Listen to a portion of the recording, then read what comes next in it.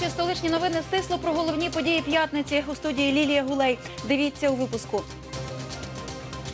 Понад пів кіло тротилу з цвяхами та шурупами. Завербований російськими спецслужбами харків'янин хотів підірвати метрополітен.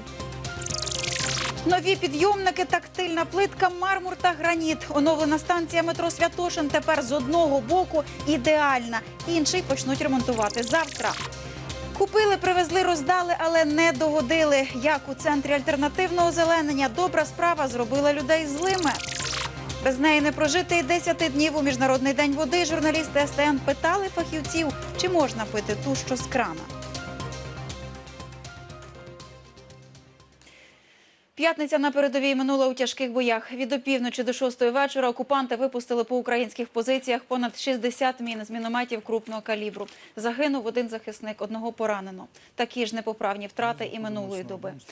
Активізувалися також ворожі снайпери. ЗСУ відповідали вогнем. Втрати противника уточнюються. Минулої доби, нагадаю, українським захисникам вдалося знищити трьох окупантів, шістьох поранити. Підірвали також ворожий автомобіль. Тим часом на підконтрольній території України у мирному Харкові співробітники СБУ попередили кривавий теракт. Його у метрополітені мав влаштувати завербований Росією харків'янин. Усього за 15 тисяч доларів винагороди. Російські спецслужби передали виконавцю вибуховий пристрій потужністю 600 грамів тротилу, що проводився у дію телефонним дзвінком. Вже у Харкові чоловік придбав цвяхи та шурупи, аби начинити вибуховий пристрій задля збільшення кількості постраждалих. За планами Кремля теракт мав призвести до численних людських жертв і дестабілізувати ситуацію напередодні президентських виборів. За усіма приготуваннями вже стежили оперативники СБУ. Вони вилучили зі схованки підривника справжній вибуховий пристрій і замінили його на муляж. Зловмисника затримали безпосередньо під час спроби закріпити вибуховий пакет. Триває слідство. Ну а загалом за п'ять років Служба безпеки України попередила майже три сотні терористичних актів. Вилучили з незаконного обігу 8 тисяч одиниць зброї та 10 тонн вибухівки. Таку статистику навів президент на урочистостях з нагоди 27-ї річниці заснування служби. Напередодні виборів Петро Порошенко закликав СБУ ще більше посилити дії, зокрема, аби запобігти спробам втручання у роботу комп'ютерних систем Центр виборчкому і вчасно попереджати усі провокації під час виборів від вкидань дезінформації до саботажу, диверсій та терористичних актів. Путін переконаний, якщо його план спрацює, то стане можливою зміна європейського і євроатлантичного курсу України. І для цього ним задіяний весь арсенал гібридної війни, зокрема в інформаційному просторі. Його фейки несуть брехню і ненависть, розбрат. І в хід пішли зараз силові провокації. Навіщо їздили до Москви Юрій Бойко та Віктор Медведчук? Правову оцінку візиту громадян України до країни-агресора Служба безпеки України обіцяє надати у межах своєї компетенції. Водночас у головному управлінні СБУ не виключають можливий опосередкований зв'язок цього візиту із попередженим у Харкові терактом в метрополітені. Як зазначив голова СБУ Василь Грицак, наявні матеріали свідчать, що спецслужби РФ у будь-який спосіб намагаються відволікти увагу громадськості від викритих корупційних схем фінансування виборів в інтересах одного з кандидатів у президенти України, який влаштовує Кремль. Нагадаю, Юрія Бойка та Віктора Медведчука у своїй резиденції у Москві приймав прем'єр-міністр Росії Дмитро Медведєв. На зустрічі був присутній і голова правління Газпрому Олексій Міллер. На метро Святошин завершили ремонт східної частини. Будівельники оновили платформу і вихід з підземки. Від завтра він буде доступним для пасажирів. Водночас станцію закриють з іншого боку, теж на ремонт. Який вигляд має вже модернізована частина вестибюля, Богдан Бур'яненко бачив. Ще один день народження станції метро. Перший на відкриття, другий після реконструкції. Святошину майже 50 років, а вигляд має немов новозбудована зупинка. Будівельники замінили мармур на колонах, плитку на стінах, граніт на підлозі. Було запроваджено нове світлодіодне освітлення. Воно є енергоефективним. Експлуатаційні витрати метрополітену при цьому зменшуються. Також е, було встановлено газоаналізатори на входах і виходах зі станції, тому що е, близько проходить газова магістраль. Більш цього, встановили сучасну систему вентиляції та кондиціювання. Східний вихід із метро у бік заводів Атеки Антонова має тактильну плитку та непрямні. Продовжуються вони і на платформі станції. Тепер користуватись цим підземним простором людям з вадами зору стало зручніше. зручно пересуватися, все зрозуміло. Е, Основний принцип е, навігації і інформаційності від е, напрямних ліній він тут є, він дотриманий. І пересуватися тут безпечно і комфортно. Та головна зміна – поява ліфтів. Вперше в Україні в конструкцію старої станції вбудовують підйомники. З проспекту Перемоги в підземний перехід станції збудували два ліфти. Їх розмістили у скляних павільйонах. Аби потрапити до підйомника, потрібно піднести руку до спеціального датчика, і двері відкриваються автоматично. За ручку смикати не потрібно. Використовувалися сучасні технології, зроблені всі заходи для того, щоб побудувати ліфти. В радянські часи не було прораховано для того, щоб люди з обмеженими можливостями використовували метро. І нам дуже було складно, тому що е, на ми не могли закрити станцію. Станція працювала і одночасно ми робили ремонт. Ще один механізм збудували між касовим залом і платформою. Через обмежений простір довелось облаштувати не ліфт, а підйомник. Щоб ним скористатись, потрібно двічі натиснути на кнопку в кабіні. Після першого двері зачиняються. Другим кліком пристрій починає рухатись. Важливо тримати кнопку, натисненою під час руху, бо ж як тільки прибрати палець, підйомник зупиняється. Він є абсолютно безпечний. У нього грузопідйомність 225 кг, скорость е, руху 0,15 метрів в секунду. І саме цим він відрізняється від е, звичайного ліфта, тому що звичайний ліфт їде більше, ніж 0,15 метрів в секунду. Від завтра східний вихід відкриють для пасажирів. Натомість західний вестибюль у бік залізничної платформи закривають на реконструкцію. Там також збудують ліфти, змінять плитку на підлозі стінах. Триватиме ремонт орієнтовно півроку. Богдан Берненко, Олексій Баган, телеканал Київ. Зробили добру справу, а у відповідь отримали невдоволення і образи. Активісти центру альтернативного озеленення, які за власний кошт закупили сіянці, щоб роздати їх безкоштовно містянам, такого від них начулися сьогодні, що в якийсь момент навіть засумнівалися у своєму благородному вчинку. Як добра справа зробила людей злими, Наталка Білогурова бачила. Черга почала збиратися ще близько 10-ї ранку, хоча сама акція безкоштовної роздачі сіянців була запланована на першу годину дня. Роздавали посадковий матеріал прямо з авто, без логотипів. Насправді організаторам можна лише поспівчувати, адже за власний рахунок вони закупили сіянці і саджанці, привезли їх, шукали волонтерів, аби все це викопати. І замість слів подяки від людей вони чують слова невдоволення і образи. нам те елки. Все дома посадите, будете каждый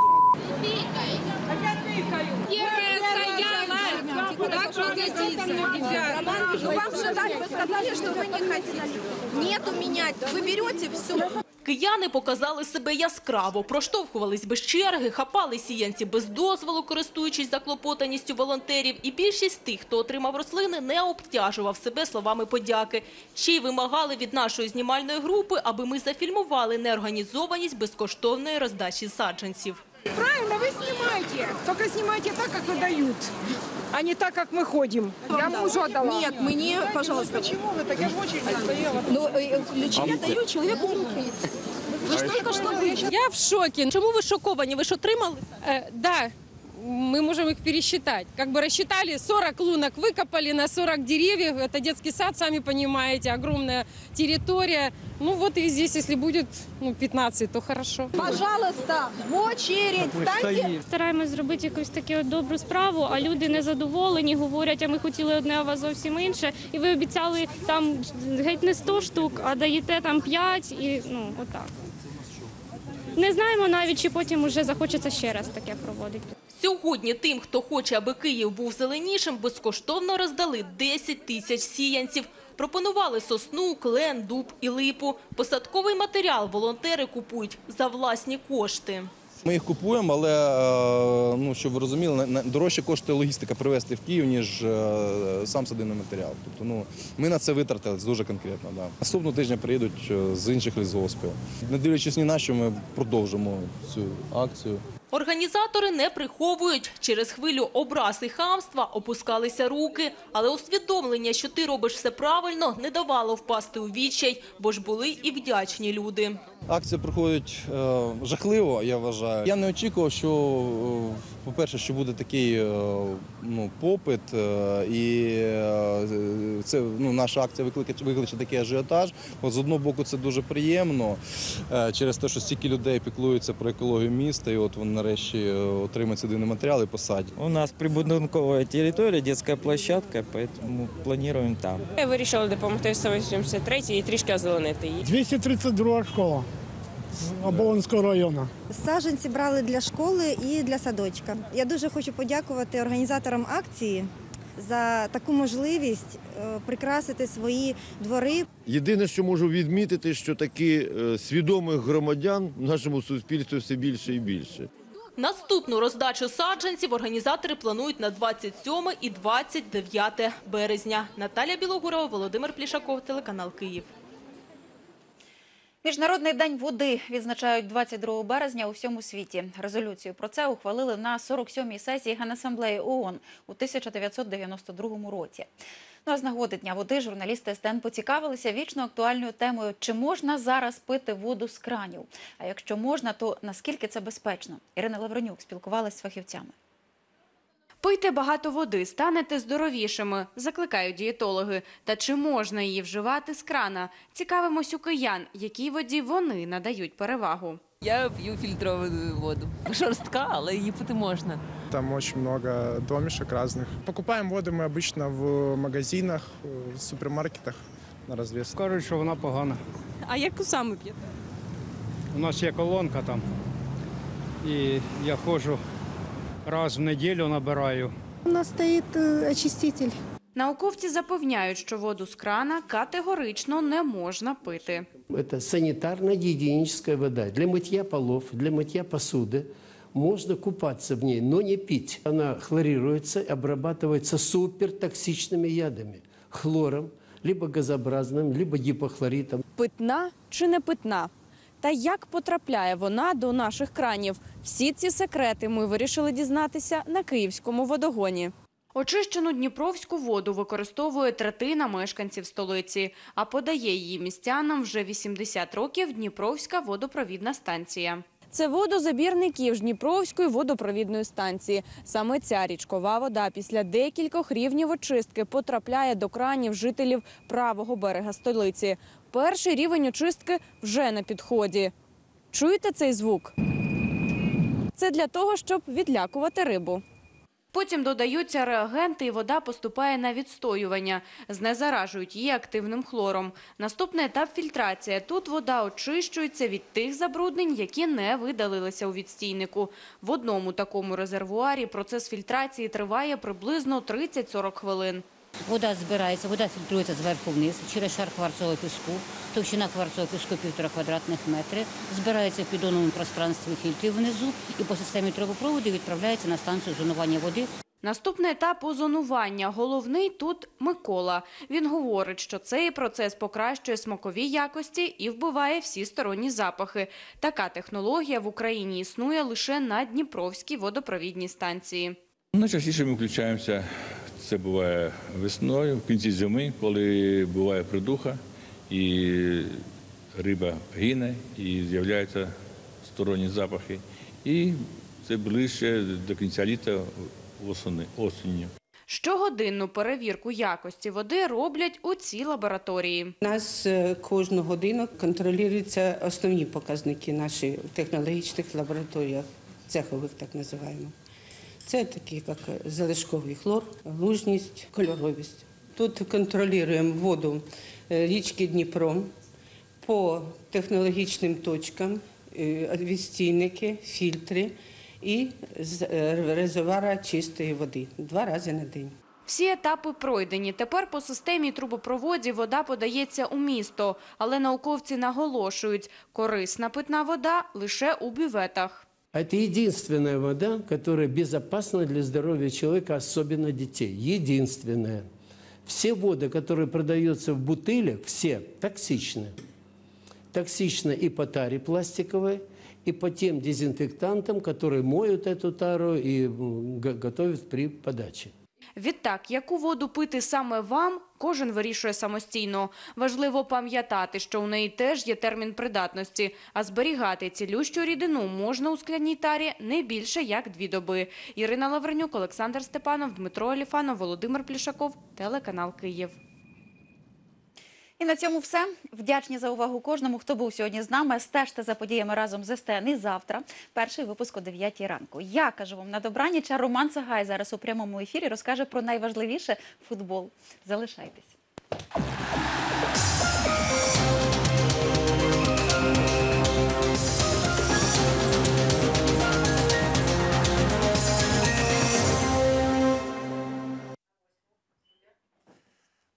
Моє вітання на телеканалі Київ. Настав час для оперативних новин зі світу спорту.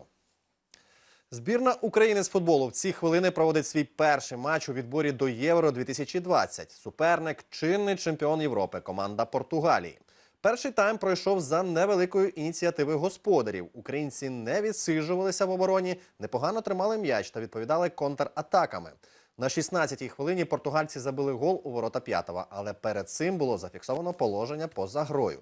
Другий тайм українці розпочали жвавіше, добре комбінували, але голами поки не відзначилися. На момент прямого ефіру триває другий тайм. Рахунок поки що 0-0, і ми продовжуємо стежити за перебігом подій у Ліссабоні. Мер Києва Віталій Кличко зустрівся з керівниками Всесвітньої федерації мініфутболу та обговорив можливість проведення чемпіонатів світу серед чоловіків та жінок у Києві у 2021 році. Саме заявка Києва потрапила у фінальний етап відбору разом із заявкою сенегальської столиці Дакаром. Остаточне голосування щодо міста господаря чемпіонату виконавчий комітет міжнародної федерації проведе 30 червня.